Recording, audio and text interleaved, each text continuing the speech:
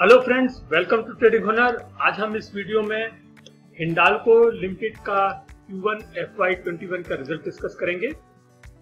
ये आप हमारा डिस्क्लेमर देख रहे हैं, जो कि हमारी वेबसाइट www.tradinghunar.com पर भी अवेलेबल है। फ्रेंड्स अभी आप अपनी स्क्रीन पर जो रेट्स देख रहे हैं, ये आज के, यानी कि 14 अगस्त के क्लोजिंग के रेट हैं, और ये 184.95 पर बंद हुआ है। जो लगभग की 1.40 ऊपर बंद हुआ है, एक चालीस पैसे ऊपर जाकर के बंद हुआ है पॉइंट सेवन सिक्स परसेंट बढ़ करके बंद हुआ है। और इसके रिज़ल्ट हम डिस्कस करेंगे। यहाँ पर आपको बता दें कि इसका रिज़ल्ट आज ही आया था मार्केट आवर्स में इसका रिज़ल्ट आया था और उसके बाद में इसमें एक हल्की सी तेज़ी नज़र आई है। इसकी जो भी रीजंस हैं और इसका क्या इम्पैक्ट होगा आगे चल करके इस रिज़ल्ट का, वो सब हम इस वीडियो में डिस्कस करेंगे लेकिन सबसे पहले हम एक नज़र डालते हैं एक साल के इसके प्राइस परफॉर्मेंस पर। हम ये जानना चाहते हैं कि जिन लोगों ने इन, इन, इसमें इन्वेस्ट किया था एक साल पहले या जो जो ऑलरेडी इन्वेस्टर थे उनको एक साल में इसमें कितना रिटर्न मिला है? तो यहाँ पर हम चलते हैं एक साल के प्राइस परफॉर्मेंस पर। तो यहाँ पर आप देखिए कि एक साल पहले इसका जो हाई था आज ही के दिन वो था 180.30 और आज इसने 189.45 हाई बनाया। ये मैं एनएससी के रेट्स की बात कर रहा हूँ। यानी कि लगभग 5 परसेंट का इसमें प्रॉफिट हुआ है उन लोगों के पोर्टफोलियो में जो इस शेयर को होल्ड करते थे। तो ये एक अच्छी बात है ये एक वैल्यू कंपनी है और इसमें जो इन्वेस्टमेंट है वो लॉन्ग टर्म के लिए लोग करते हैं म्यूचुअल फंड्स और एफ़ इसमें इन्वेस्टेड रहती हैं। तो एक आ, कहना चाहिए कि एक सॉलिड परफॉर्मेंस वाली कंपनी है और ये जो अभी अप डाउन आते रहते हैं, जैसे कि कोविड 19 की प्रॉब्लम आई है, उसकी वजह से मार्केट डाउन हुए हैं। शेयर में भी काफ़ी ज़्यादा गिरावट हुई थी और इसके बाद में इसने रिकवर कर लिया है। अब ये आगे कहाँ जाएगा और जिन लोगों को अभी इसमें इन्वेस्ट करना है, वो क्या करें? इसके लिए हम एक छोटा सा टेक्निकल एनालिसिस लेते हैं।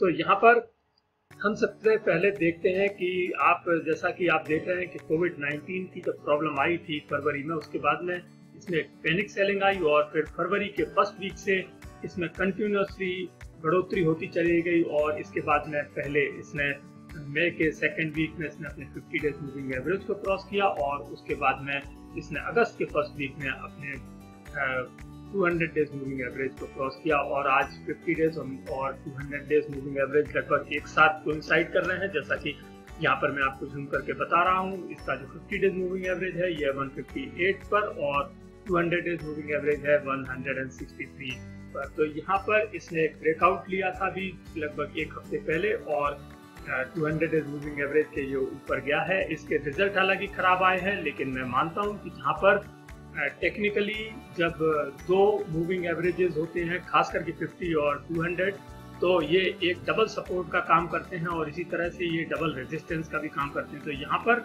मैं मान के चलता हूँ कि ये जो प्राइसेस हैं ये इतनी जल्दी ब्रेक होने वाली नहीं है और इसलिए मुझे नहीं लगता है कि ये शेयर अभी नीचे आने की कोई उम्मीद है। और जैसा कि यहाँ पर आप देख रहे हैं आरएसआई को भी देखिए तो आरएसआई काफ़ी ज़्यादा स्ट्रॉन्ग है।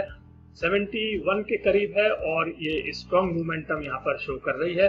और यदि हम इसके स्टॉकिस्टिक मोमेंटम की बात करें तो स्टॉकिस्टिक मोमेंटम भी आप देख सकते हैं कि एक काफ़ी स्ट्रॉन्ग पोजीशन में है और अपनी जो 80 की लाइन है उसके लगभग अभी ये ट्रेड कर रहा है तो ये थोड़े दिन और वहाँ पर ट्रेड करेगा और इससे बल्कि ये ऊपर की ओर जाने की कोशिश करेगा। और यही चीज़ यहाँ पर एमएससीडी चार्ट में बिल्कुल क्लियर दिखाई दे रही है कि ये एक बाई जोन में है और जब भी इस तरह के पैटर्न बनता है तो इस तरह का जो पैटर्न है वो काफ़ी दिनों तक बनता है, खास करके इस तरह के वैल्यू शेयर्स में। तो अभी इसके शेयर के किसी भी तरह के नीचे जाने की उम्मीद नहीं है। और जो लोग इसमें इन्वेस्ट करना चाहते हैं तो थोड़ा थोड़ा इन्वेस्ट कर सकते हैं। लॉन्ग टर्म का शेयर है वैल्यू शेयर है, और किसी भी तरह का नुकसान की प्रॉब्लम नहीं है। क्योंकि जैसा कि अभी आपने देखा कि जिन लोगों ने एक साल पहले इन्वेस्ट किया था, उनको पाँच परसेंट का फ़ायदा हुआ है।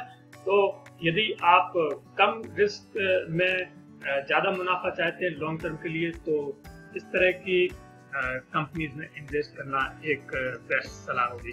अब हम देखेंगे इसका रिज़ल्ट Q1 FY21 का जिसको हम तीन पैरामीटर्स में लेंगे जो कि हैं रेवेन्यू एबिटा और प्रॉफिट आइए इनको हम बारी बारी से डिस्कस करें। सबसे पहले लेते हैं हम रेवेन्यू यहाँ पर ये एक बड़ी कंपनी है और जैसा कि आप देख रहे हैं इनकी रेवेन्यू Q1 FY20 में 29,972 करोड़ थी जो कि इस बार Q1 FY21 में ये पच्चीस करोड़ हो गई है। यानी कि इसमें एक कमी आई है। और ये कमी है लगभग 15.6 परसेंट की, काफ़ी ज़्यादा कमी है।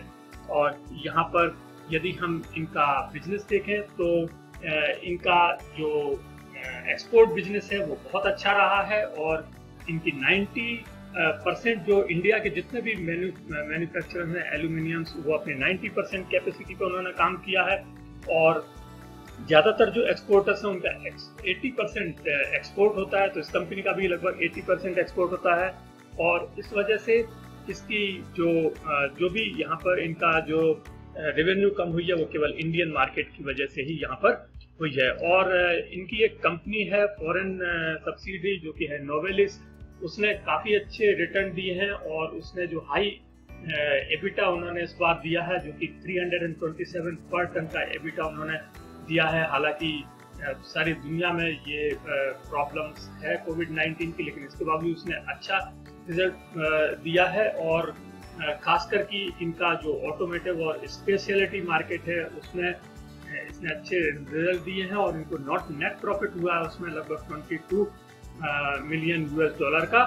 हालाँकि कंपनी का ये कहना है कि जो बीवरेजेस का मार्केट है वो थोड़ी सी उसमें कमी आई है क्योंकि जो कैन बनते हैं बीवरेजेस के, उसमें थोड़ी सी सप्लाई में कमी आई है तो वहाँ पर डिमांड में थोड़ी सी कमी आई है। तो ये एक था इनका रेवेन्यू का एनालिसिस और इसके बाद में यदि हम एबिटा की बात करें तो एबिटा 3769 करोड़ था लास्ट ईयर इसी क्वार्टर में और ये आज 2359 करोड़ हो गया है। इसमें काफ़ी ज़्यादा गिरावट आई है लगभग 32.6 परसेंट की इसमें गिरावट आई है और इनका जो एबिटा मार्जिन है वो 9.3 परसेंट हो गया है। ये इसमें काफ़ी ज़्यादा गिरावट है क्योंकि इनके जो एक्सपेंसेस हैं वो इनको इनकर करने पड़ रहे हैं और जो इंडियन सेल है, वो इतनी ज़्यादा अभी नहीं निकल रही है। और यदि हम बात करें नेट प्रॉफिट की तो net profit last year Q one F Y twenty में था 1063 करोड़ जो कि अब इस बार इनको लॉस हुआ है 709 करोड़ का लॉस हुआ है। और ये एक अच्छा खासा लॉस है।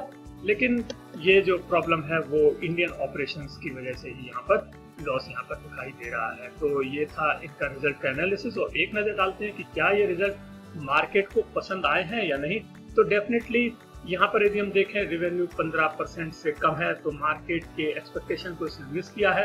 एबिटा 32 परसेंट कम है और मार्केट के एक्सपेक्टेशन को मिस किया है और प्रॉफिट यहाँ पर कन्वर्ट हो गया एक लॉस में, एक बड़े लॉस में, जो कि 709 करोड़ है, और ये मार्केट के एक्सपेक्टेशन को इसने मिस किया है। और अब हम डालते हैं एक नज़र इसके ट्रेडिंग पैटर्न पर कि पिछले एक हफ़्ते से ये कैसा ट्रेड कर रहा है। तो जैसा कि आप देख रहे हैं, आज इसका रिज़ल्ट आया था 14 अगस्त को। आज इसने एक हाई भी बनाया 189.45 ये रिसेंट हाई है तो आठ दस दिनों का हाई है, यानी कि प्री रिज़ल्ट जो रैली है, उसका ये इसने आज हाई बनाया है। और उसके बाद में ये क्लोज हुआ है 184.95 पर। इसमें आज अच्छी खासी ट्रेडिंग हुई है। टू करोड़ 85 लाख शेयर्स की ट्रेडिंग हुई है और पिछले करीब चार दिनों से इसमें लगभग दो करोड़ से भी ज़्यादा की शेयर ट्रेडिंग हो रही है। और यदि हम इनका शेयर होल्डिंग पैटर्न देखते हैं और यहाँ पर आप देखिए कि एफ़ में ने लगभग 20 परसेंट का इन्वेस्टमेंट कर रखा है। म्यूचुअल फंड लगभग 16.5 परसेंट इंश्योरेंस कंपनी लगभग 12 परसेंट तो इस प्रकार से आप देख सकते हैं कि ये काफ़ी स्ट्रॉन्ग हाथों में इसका शेयर है और ये एक लॉन्ग टर्म का शेयर है। और यदि हम इसके वैल्यूएशन की बात करें, लगभग बयालीस हज़ार करोड़ की ये मार्केट कैप की कंपनी है। इसका पी रेशो काफ़ी ज़्यादा कम है। जो इंडस्ट्री का पी रेशो है, वो है लगभग 60 के करीब और इनका पी रेशो है 11 यानी कि ये काफ़ी ज़्यादा चीप रेट पर इस वक्त अवेलेबल है। मार्केट में इसकी बुक वैल्यू है 259.67 और ये प्राइस टू बुक काम कर रहा है लगभग 0.72 के करीब। इनका डिविडेंड डील भी अच्छा है 0.54 परसेंट और इनका जो ईपीएस e है, वो लगभग 16.77 पर शेयर है। फेस वैल्यू वन रुपीज़ की है, और डिलीवरेबल क्वांटिटी इसकी काफ़ी ज़्यादा कम है, जो कि लगभग 12.58 परसेंट है। फ्रेंड्स आपको ये वीडियो कैसा लगा? यदि आपको ये वीडियो अच्छा लगा हो तो प्लीज़ लाइक कीजिएगा और शेयर कीजिए। और यदि आपने अब तक हमारे चैनल को सब्सक्राइब नहीं किया तो प्लीज़ हमारे चैनल को सब्सक्राइब कीजिएगा और बेल आइकन को प्रेस कीजिए। Thank you.